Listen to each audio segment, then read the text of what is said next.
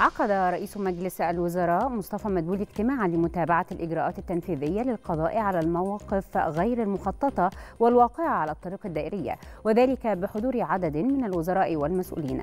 وخلال الاجتماع أكد رئيس مجلس الوزراء أنه لابد من العمل على القضاء على المواقف غير المخططة بمسار الطريق الدائري بكل حزم مشيرا أنه سيتم منع هذه الظاهرة غير المقبولة من خلال تحديد أماكن لمواقف سيارات الميكروباص أسفل الطريق الدائري.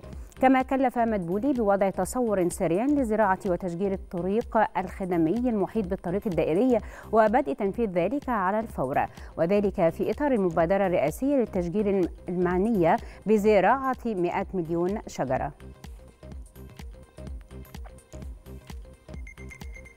بحث وزير الكهرباء محمد شاكر مع سفيرة سلوفينيا بالقاهرة فرص الاستثمار المتبادل في مجال الكهرباء والطاقة الجديدة والمتجددة ومجالات الهيدروجين الأخضر. وأكد وزير الكهرباء اتخاذ العديد من الإجراءات لتشجيع مشاركة القطاع الخاص في مشروعات الطاقة الجديدة والمتجددة مشيرا إلى تقدم عدد كبير من المستثمرين من القطاع الخاص الأجنبي والمحلي للدخول في هذه المشروعات.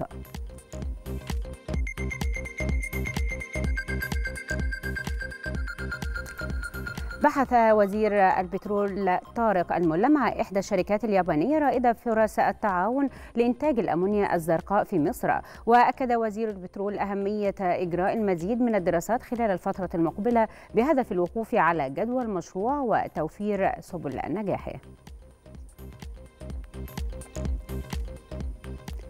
تفقد محافظ القاهرة خالد عبد العال أعمال تطوير منطقة شق التعبان لصناعة الرخام والجرانيت والتي تشمل رفع كفاءة الطرق والبنية التحتية وعمل مدخل يليق بالمنطقة وإعادة تخطيط مداخل ومخارج المنطقة. وأشار محافظ القاهرة إلى أن المحافظة تعمل على تطوير المنطقة الصناعية للرخام والجرانيت من خلال استكمال المرافق وتمهيد الطرق الداخلية بهدف المساهمة في زيادة الإنتاج والاستثمارات ودخول مصانع وورش هذه المنطقة داخل منظومة الاقتصاد الرسمي للدولة.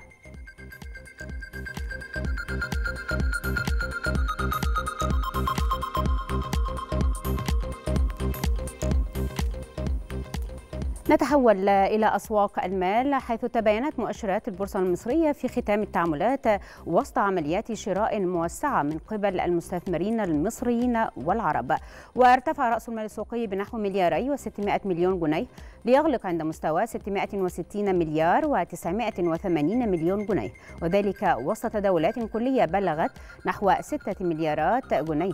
أما على صعيد المؤشرات فقد فتح مؤشر EGX 30 عند مستوى 9984 نقطة وأغلق عند 9914 نقطة متراجعا بنسبة 7 من 10% أما الارتفاعات فكانت من نصيب مؤشر EGX 70 والذي فتح عند 2129 نقطة وأغلق عند 2130 نقطة مرتفعا بنسبة 6 من 100% وقد تراجع مؤشر EGX 100 والذي تراجع بنسبة 25 من 100% ليغلق عند مستوى 3048 نقطة. نتحول إلى أسواق العملات حيث تباينت أسعار العملات أمام الجنيه المصرية. ليسجل الدولار الأمريكي 19 جنيها و9 قروش للشراء و19 جنيها و17 قرشا للبيع. اليورو 19 جنيها و46 قرشا للشراء و19 جنيها و54 قرشا للبيع. في حين سجل الجنيه الاسترليني 23 جنيها و7 قروش للشراء و23 جنيها و17 قرشا للبيع. وأمام العملات العربية سجل الدرهم الإماراتي 5 جنيهات و19 قرشا للشراء و5 جنيهات و22 قرشا للبيع. الريال السعودي سجل 5 جنيهات و8 قروش للشراء و5 جنيهات و10 قروش للبيع. في الأسواق الأمريكية فتحت المؤشرات الرئيسية في وول ستريت على تراجع وذلك على غرار الأسواق العالمية بعد بيانات ضعيفة من الصين أثارت مخاوف من تباطؤ الاقتصاد في ثاني أكبر اقتصاد في العالم. وهبط المؤشر داو جونز الصناعي عند الفتح بنسبة 15% من 100% كما فتح المؤشر ستاندر أند بورز 500 على تراجع بنسبة 25 من 100% كما هبط المؤشر ناسداك المجمع بنسبة 39 من بالمئة.